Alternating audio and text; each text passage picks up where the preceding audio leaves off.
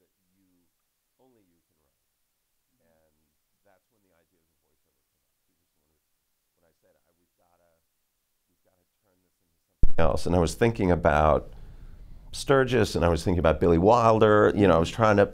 I felt like it needed that kind of energy, that mm-hmm. it could be a modern version of that kind of movie. Um, Didn't scare him at all. I guess. no, I mean, I think he understood exactly what I was talking about. And I imagine, even when we were shooting it, I mean, I felt Matt had this kind of Jack Lemmon thing going on, which I thought was good for this. Well, you the, one of the fascinating things about the movie for me is seeing because I was around the comedy scene in the '80s in New York, and every stand-up comic practically around the '80s is in this movie, all playing straight men. Yeah. Where did you get that idea? What was the?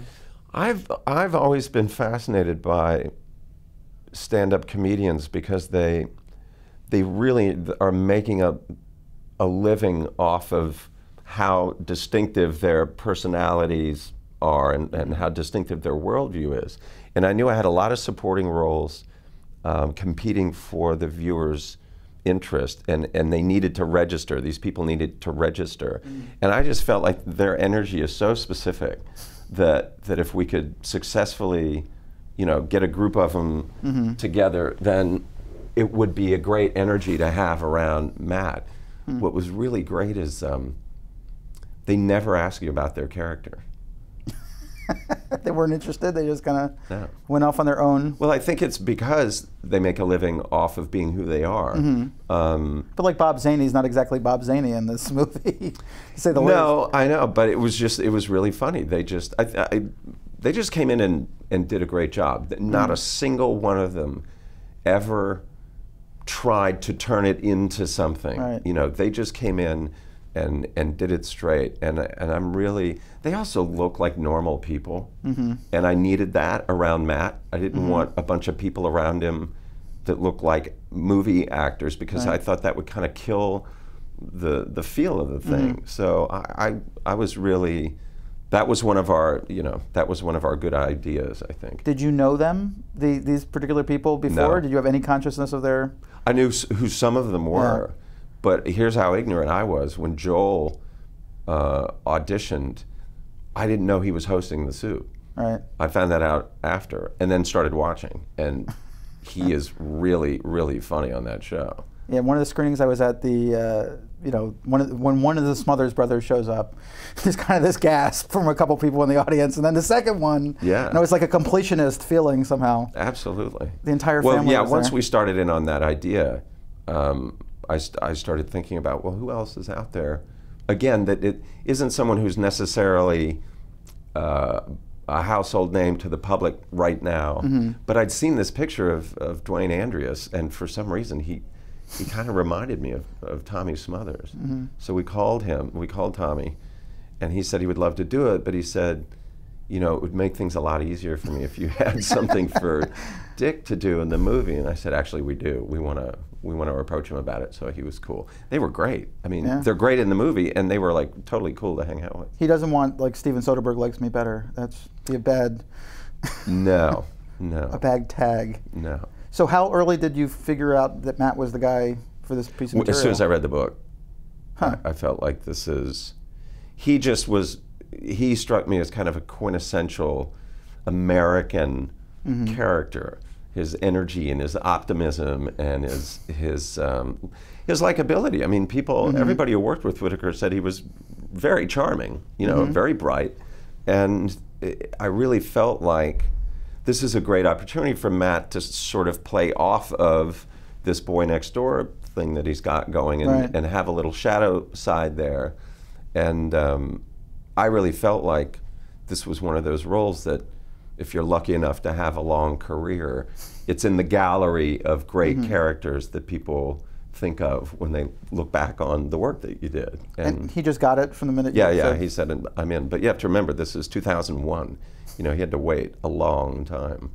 So was it is it hard to wait? I mean, you're kind of clearing out your your library of Section Eight stuff, I guess, which is was part Yeah, of it. this right? is the last one. this is the final Section Eight. Yeah. it's kind of sad. It is kind of sad, um, which is why I made sure that Section 8 was on there and George's name was on there. Right. Um, Because George doesn't have enough presence in Toronto this year. exactly. exactly. Um, no, it, it turned out. It turned out to be a good thing that we waited, both for him and for me. I mean, mm-hmm. I don't. I don't know if I, if I don't do Che just before this movie, I don't mm-hmm. know if I embrace the comedy as much as I ended up embracing it. Mm-hmm. That was a real motivation for me. That that that obviously didn't come from anything that was inherent Right. in the piece. So, and as it turned out, by the time we were shooting, Matt was virtually the same age as Whitacre when the story actually took place. So it was good. It was good that we waited. And it is kind of like there are three or four layers going on at the same time because well, you have this comedy that's surprisingly a real story that's also got big surprises in it. It's not. Uh, it's a complicated piece, you know, which is I think the biggest surprise for audiences is they particularly with that poster Right. and Matt's big mug facing everybody is like you know they, I don't think they expect to come in and get shocked over and over again by what's going on. Well, that again, that was my that was my impression when I read the book. You know, the feeling that I had reading the book was that four or five times I felt I had to start over. Mm-hmm. You know that that every my frame had to be readjusted because I just got some new information. And Kurt Eichenwald did a really great job of mm-hmm.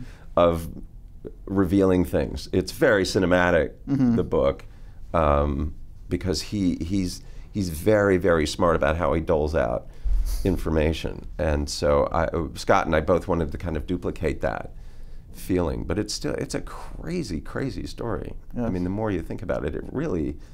Whitacre, when he saw the movie a few weeks ago, wrote uh, uh, an email to the person at Warner Brothers who'd sort of taken care of him, and he said, "I really, Ginger and I really enjoyed the movie, and we thought it was very accurate, and boy, I did some crazy things back then." And do we know whether he's still doing crazy things? He's still in business. He's in the Yeah, no, I think he's calmed down. He is, you know, he he. I think he's found a sort of pharmaceutical cocktail that's kind of keeping him uh, on the straight and narrow. But he se- he seems he seems perfectly fine. Scott did say there was one part of the movie he didn't like so much.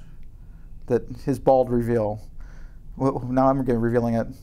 That, what about it? The idea that his that he's wearing a well, it's kind of obvious he's wearing a wig through the movie, but that he didn't. Uh, that it was that was kind of horrifying to acknowledge that he was actually bald. Oh well, I like that, of course. I mean, what what was great for me was that early on in the shoot, I was talking to Matt about something, and he scratched his head, and I saw the whole thing move, and I thought, okay, now I got to find a place for this because mm-hmm. that's fantastic, and I decided that the place for it was in an otherwise genuinely emotional scene, which is when Ginger's upset that they're Yeah. being abandoned by the FBI. And I told Matt when she, I said, wait until she really peaks and then go for it. And it's he really he he nailed it. It's a great piece of physical business. He's so smart. Yeah, You know, he really. he's kind of this amazingly underrated actor. Well, even though even though he has been Oscar nominated, even though he's been in a string of successful movies, yeah, I still feel like he's he's now people are beginning to go he's really really he's a really good actor. He's mm-hmm. just a good actor. And there isn't a, there is not a director who's worked with him who doesn't want to repeat the experience. I and he's willing to go for it. I mean, he seems he to be jumps fearless off the about. cliff. He's totally yeah. fearless. Well, the Liberace movie is going to be interesting. which we think is actually going to happen. Yeah, I think we got the money, so it'll be next summer. And who are who's going to sh- direct it? Is it turn? Is it Zan? Uh, it's going to be me. I hope. Oh, it's going to be you. Oh okay. yeah, yeah. I try to keep up because I seem to remember that like bouncing around from No, no, no, no.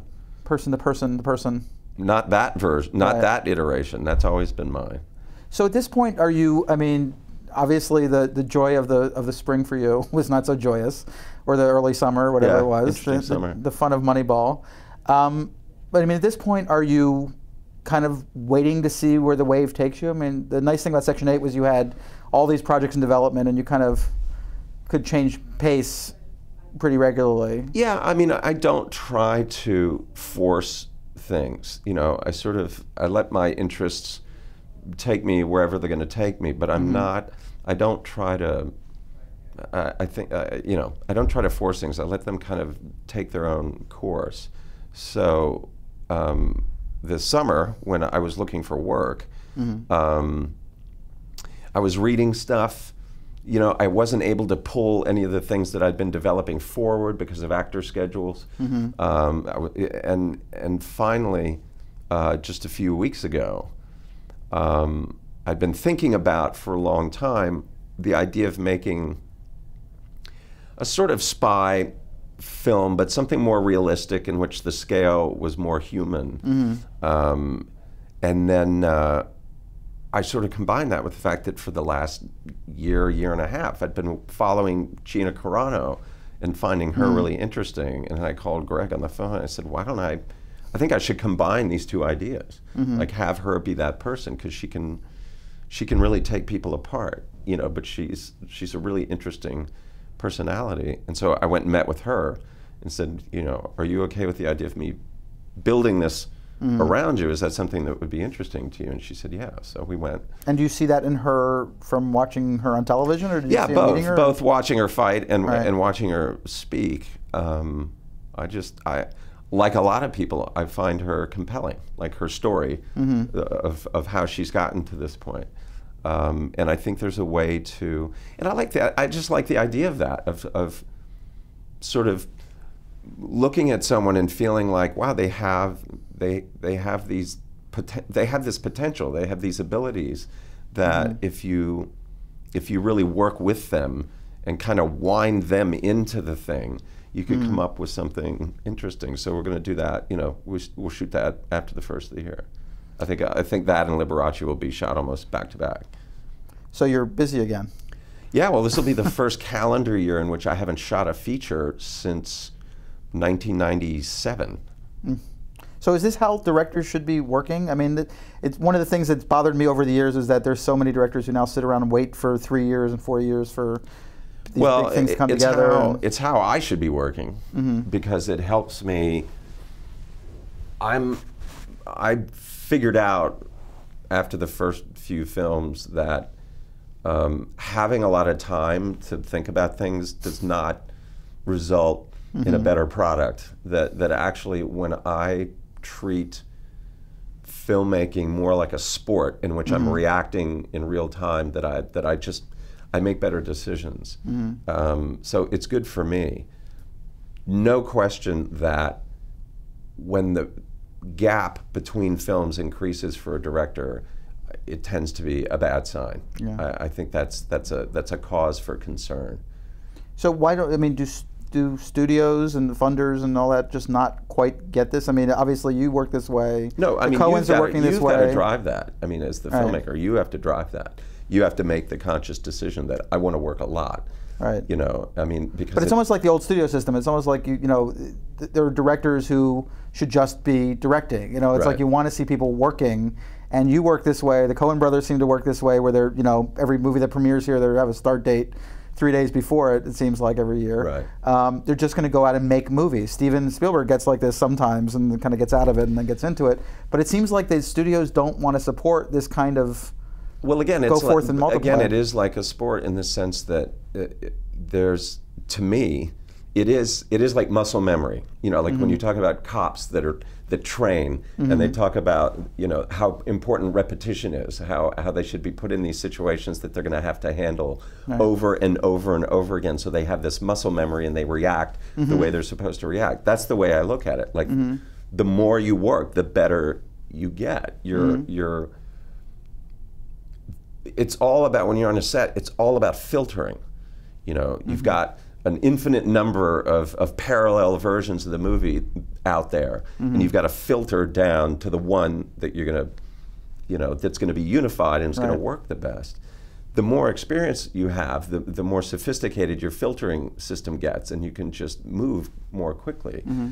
there's no shortcut to that you just have to you just have to work Mm-hmm. and so and plus, you know, now as you may have read, you know, I'm starting to kind of plan my exit strategy mm-hmm. and and my I don't have gears. Like I'm Right. either the switch is either on or it's off. Mm-hmm. And so I'm going to go flat out, you know, and then I'll just stop.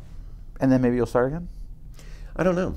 Just see what mood you're in when I don't has know. it. I would like to see while I'm not, you know, at a at a at an entirely advanced age, if I could become good at something else. If I dedicated myself to a different, you know, art form, could I become good at something else? Could I, like John McEnroe? Mm-hmm.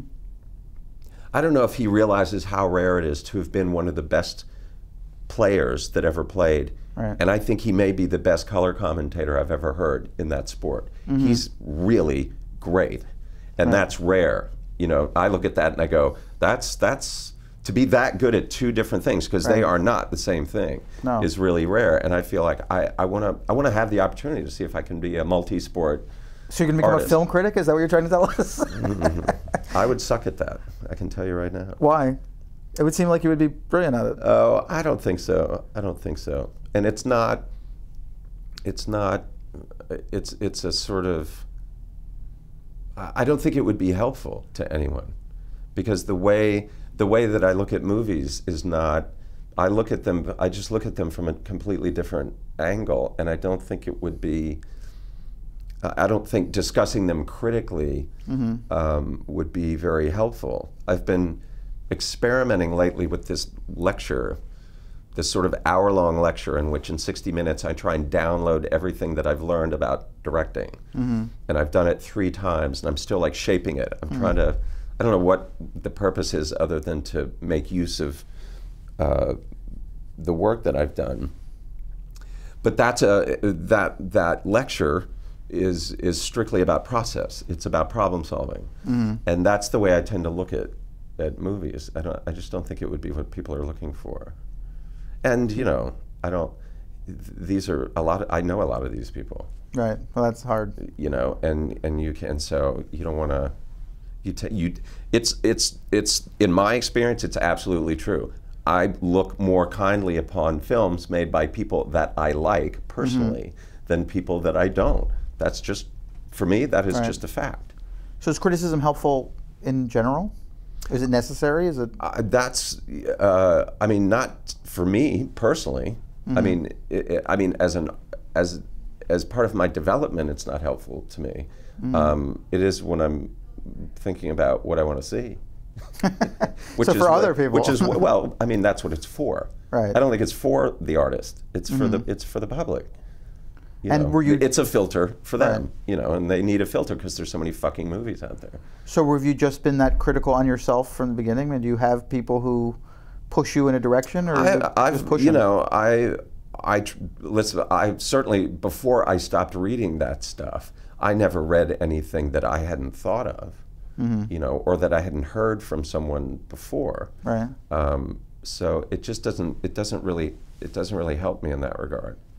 And I don't need to read them because I get emails with headings like, like I got one this morning. You know, the subject line is mixed Hollywood Reporter review.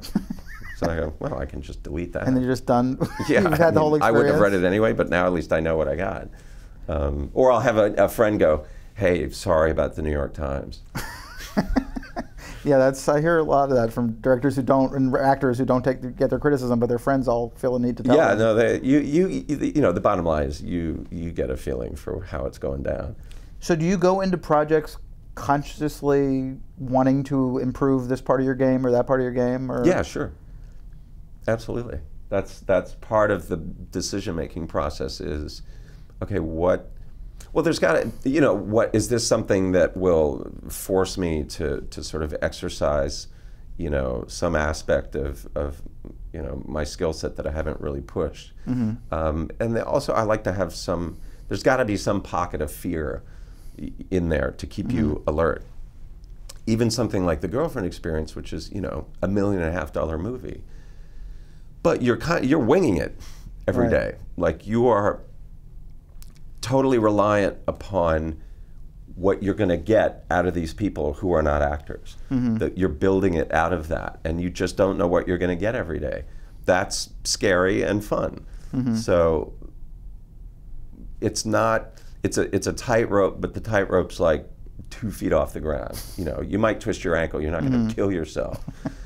but what's great is you can take some of the things that you learned from that and apply them to something that has a little more scale and feel like okay, I've practiced this a bit.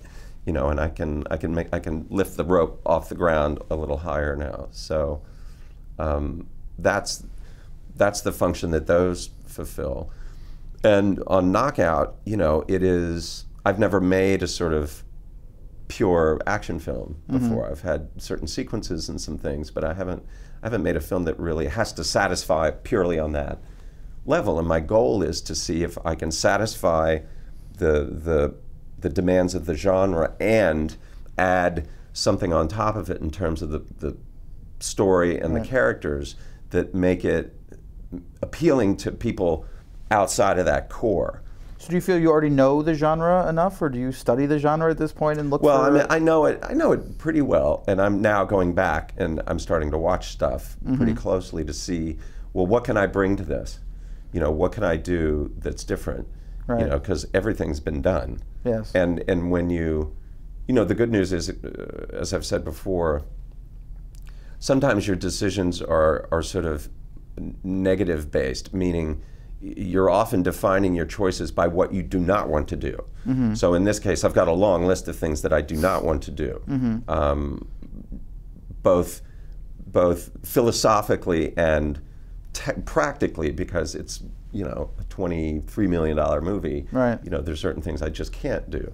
But I also don't want to do them because I don't want to have a situation where you go, if that shit went down, the police presence would be so huge, so fast that this thing would just end. You know what I mean? Car, Right.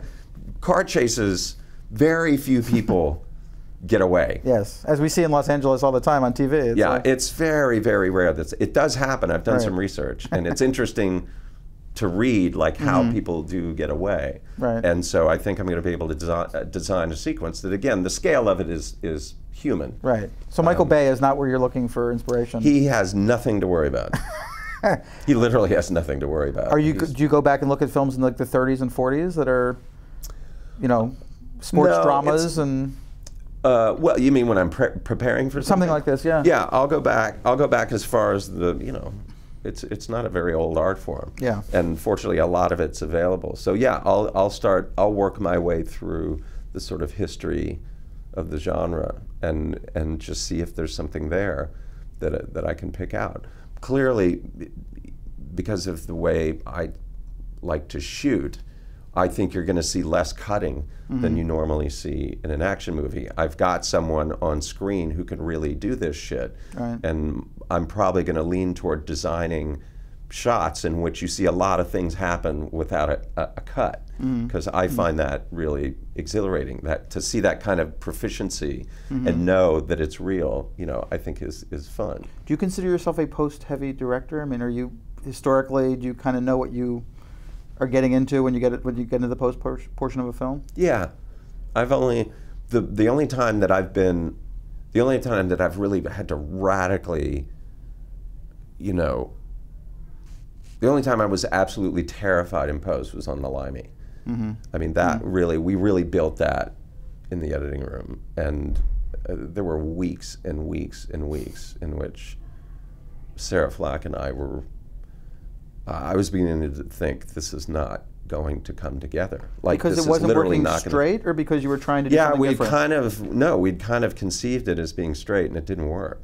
Huh. I mean, it really didn't work, and um, it was just very late in the game that we found the the algorithm, and um, it, it was a piece of music of Cliff's music that he had sent us, just saying, "Hey, I've been working on this," Mm. and that was what tricked it. He sent us this piece of music, and I said okay, take the take these ha- take this handful of images and put them in a row against this piece of music and let me look at them. And I saw that and I thought, okay, here's how we're going to do this.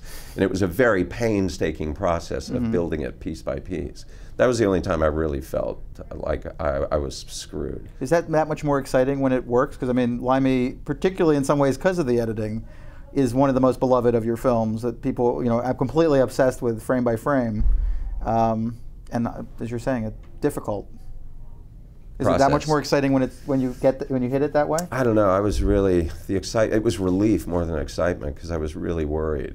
I was. You have to remember, I was really worried too because I'm coming off Out of Sight, which was my first studio film, and that people people considered it a creative success, but it was not a commercial success. So now I'm thinking, shit, you know that that went okay, Right. but it didn't make its money back.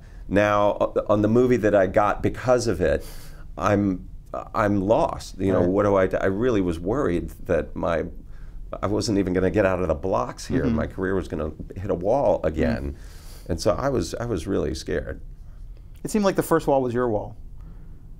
Absolutely, absolutely a wall of my own construction. Although uh, you know, at the time, even when I was going through it, I felt it was necessary. Mm-hmm. You know that this was, if I could be patient, that this would pay off. You know these these films that were Right.